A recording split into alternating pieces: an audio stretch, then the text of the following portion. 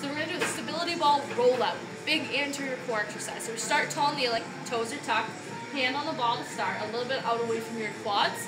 And what you're gonna do is transfer your weight from your knees into your hands, into your forearms, extend all the way out, and pull yourself all the way back up, but stay tall the whole time. So I'm gonna show one more great rep, and then I'm gonna show a bad rep, because it's really easy to do this one poorly. We wanna make sure that we're doing it correctly. So here's a good one. I keep everything locked in, my tailbone's tucked, everything's nice and straight. This is a bad one.